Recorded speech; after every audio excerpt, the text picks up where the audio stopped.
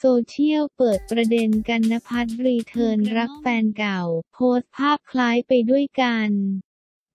กันนภัทรหรือกันเดอะสตาร์กำลังถูกจับตาสถานะหัวใจไม่แพ้สาว มารีเบรินเนอร์หลังชาวเน็ตแชร์ภาพชวนสงสัยเหมือนออกทริปท่องเที่ยวไปกับแฟนเก่า ในขณะที่ตอนนี้นักแสดงสาวคนสวย มารีเบรินเนอร์ กำลังถูกจับตาความสัมพันธ์กับหนุ่มหล่อคนดัง พิกาชัยอดีตนักร้องวง C-Quint C-Quint ว่าตอนนี้เป็นอย่างไรกันแน่ เพราะสังเกตเห็นว่าช่วงนี้ลง story IG ด้วยกันบ่อยๆ แต่ล่าสุดเพจเมาส์มอยข่าวชื่อดังอย่าง เจ๊มอย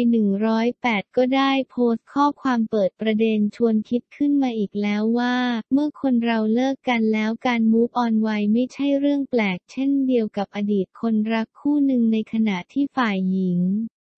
ตัดบัวไม่เหลือใยมีหนุ่มใหม่มาจีบไม่ขาดสายและดูเหมือนว่า she จะ move on ไม่รอละนะหลังจากที่ she เปิดใจก็ตะลอนทัวร์กับแก๊ง boy band คาดว่าน่าจะกิ๊กกับหนุ่มในกลุ่มเพื่อนนั่นแหละ แต่ฝ่ายพระเอกก็ไม่น้อยหน้า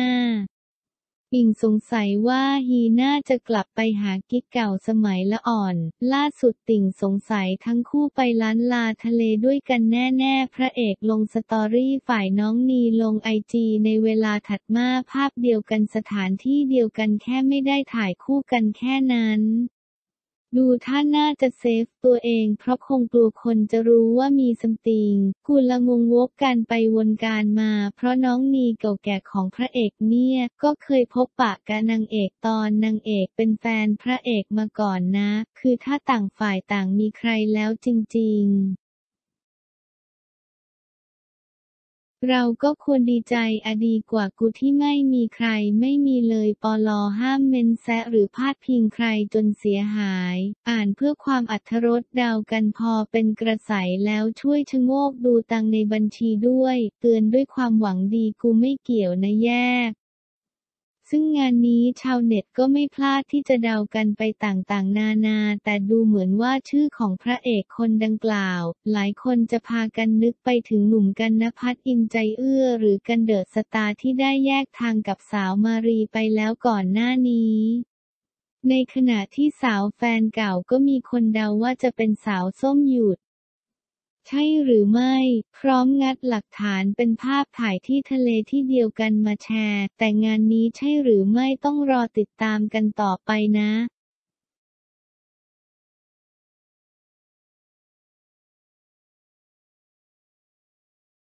สายวายฟิน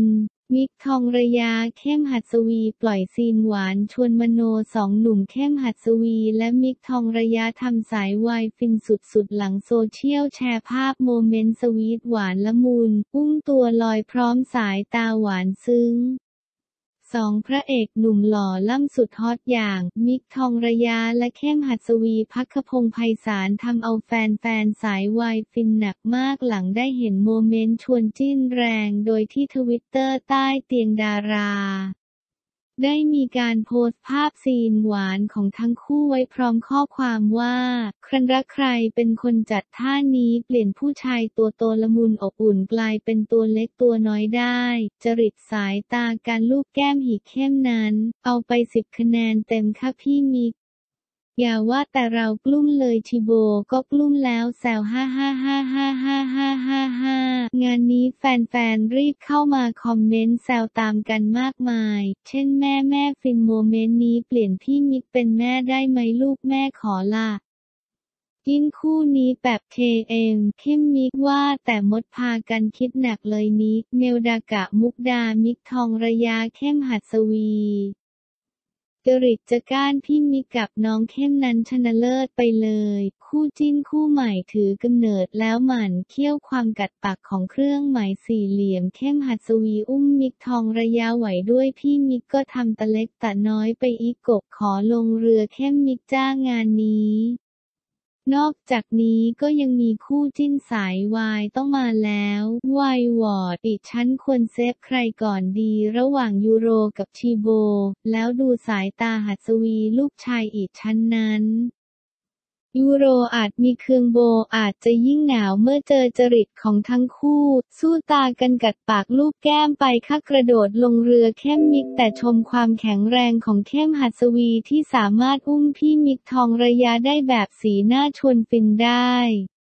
แกขอเกลียดท่ากัดปากหมันเขี้ยวหรือหนักบอกมาจะเข้มและอื่นๆ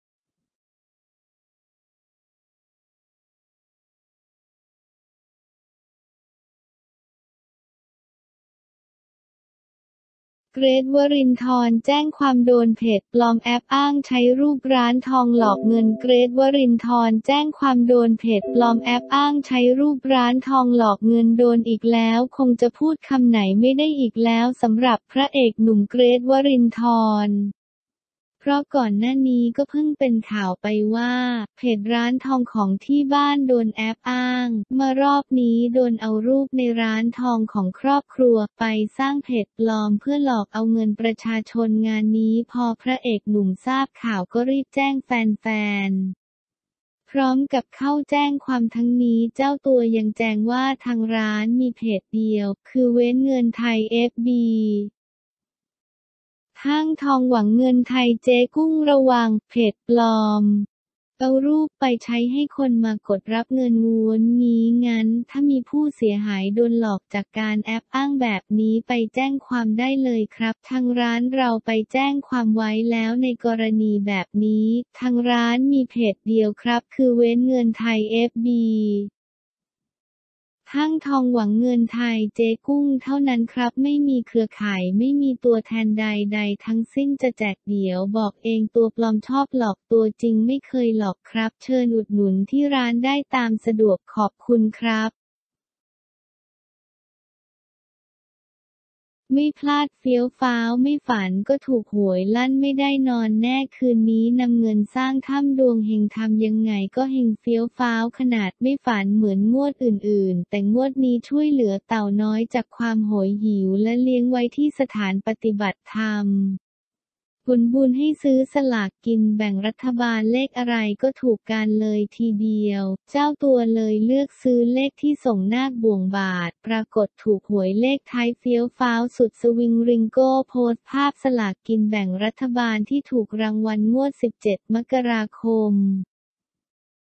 2564 พร้อมข้อความว่า ครั้งนี้เฟี้ยวฟ้าว ไม่ฝันอะไรเลยก็เลยซื้อเลข 15 ถูก 5 ใบเป็นเลขที่ส่งนาคบ่วงบาทรุ่นเปิดขุมทรัพย์ และคาถาให้กับกัลยาณมิตรที่บูชาตรงวันเป๊ะๆเลย เฟี้ยวฟ้าว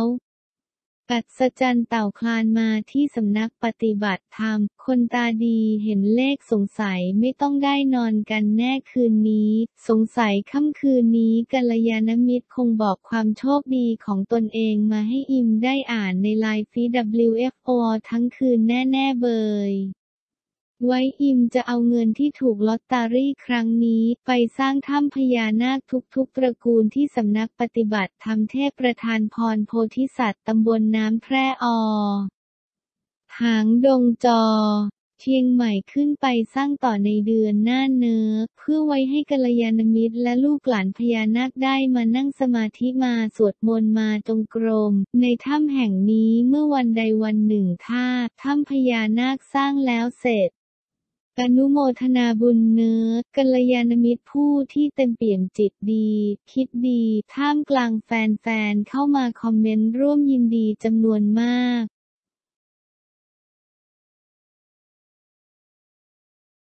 งวดแรกในชีวิตอันอัครพัฒทะเบียนรถให้โชคถูกเลขท้ายเหนาะเหนาะสี่ใบงวดแรกในชีวิตอันอัครพัฒทะเบียนรถให้โชคถูกเลขท้ายเหนาะเหนาะสี่ใบงวดแรกในชีวิต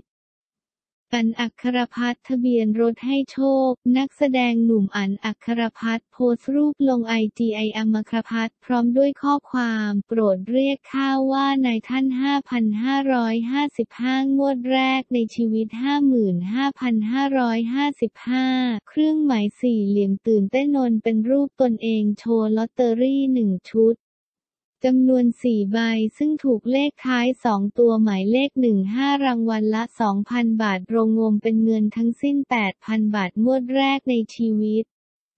อ่านอัครพัฒน์ทะเบียนรถให้โชคอ่านข่าวอ่านอัครพัฒน์ขึ้นทำเนียบลูกกตัญญูถอยรถหรูเป็นของในวันแม่อ่านยังได้โพสต์อีกว่า เมื่อสี่วันที่แล้วโดนรถชนท้ายเลยซื้อเลขทะเบียนรถเรียบร้อยเฮงเฮงต้นปี อย่างนี้เรียกว่าทะเบียนรถให้โชคจริง ๆ